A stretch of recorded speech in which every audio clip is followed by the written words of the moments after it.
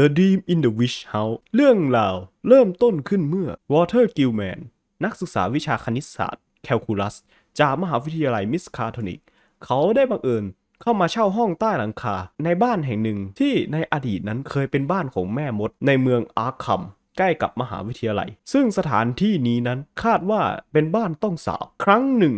บ้านหลังนี้นั้นเคยเป็นที่อยู่อาศัยของแม่มดเคซ่าเมสันที่ถูกกล่าวหาว่าเป็นแม่มด ซึ่งเธอนั้นได้หายตัวไปอย่างลึกลับจากคุกในเซเลมในปี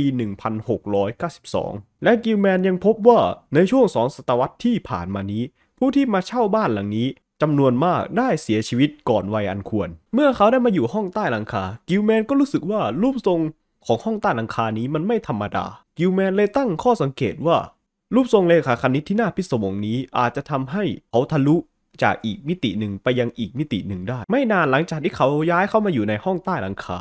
กิลแมนก็เริ่มประสบปัญหากับความฝันที่แปลกประหลาด ซึ่งความฝันนี้นั้นดูเหมือนว่าร่างกายของเขานั้นจะล่องลอยผ่านโลกอันน่าแปลกประหลาดมากมาย ทั้งแสงและเสียงที่อธิบายไม่ได้ ซึ่งองค์ประกอบต่างๆ ที่เขารับรู้นั้น มันช่างไม่เหมือนกับความฝันเสียเหลือเกิน เขาปรากฏตัวจากที่หนึ่งไปอีกที่หนึ่ง โดยไม่ซ้ำกันเลย เขายังได้พบกับกระจุกที่แปลกประหลาด ที่มีลักษณะคล้ายกับฟองอากาศสีรุ้งทรงกลม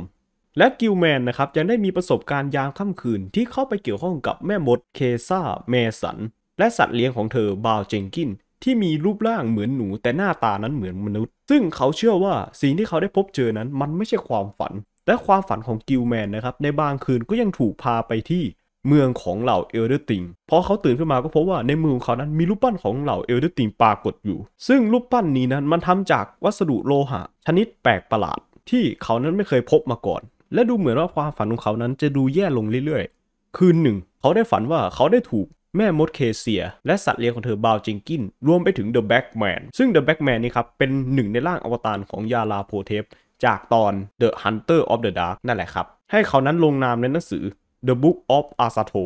ภายหลังเขายังถูกพาไปยังบัลลังก์แห่งอาซาโทที่เป็นที่กล่าวขานกันว่าเป็นศูนย์กลางแห่งความโกลาหล และเขายังถูกบังคับให้ทำการลักพาตัวเด็กทารกพอเขาตื่นขึ้นมานะครับ ก็พบว่า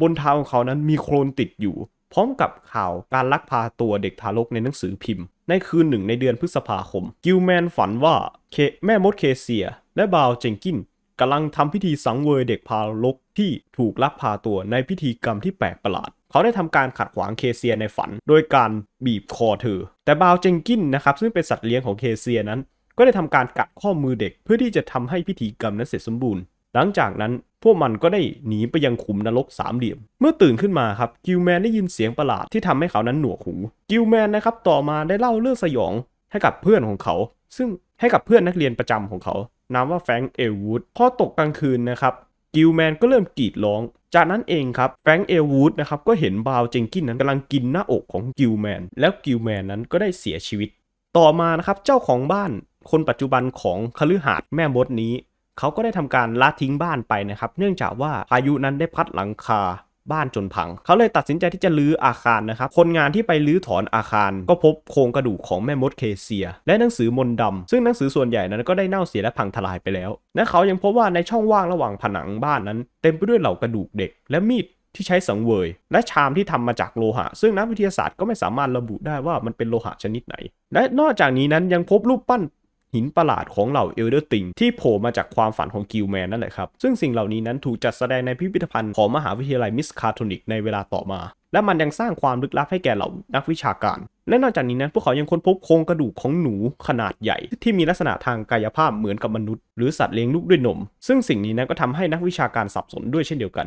ต่อมานะครับเหล่านักวิชาการเลยขอให้คนงานนั้น ได้ไปเชิญหลวงพ่อจากโบสถ์มาเพื่อทำวิธีไล่วิญญาณ ก็จบกันไปแล้วนะครับสำหรับ The Deep in the Witch House ซึ่งหลังจากนี้นะครับผมก็จะไม่ทำคลิปเลิฟคราฟแบบทีๆแบบแต่ก่อนแล้วแบบวันเว้นวันอะไรแบบนี้ก็อาจจะไม่ทำแล้วนะครับ เพราะว่าผมจะต้อง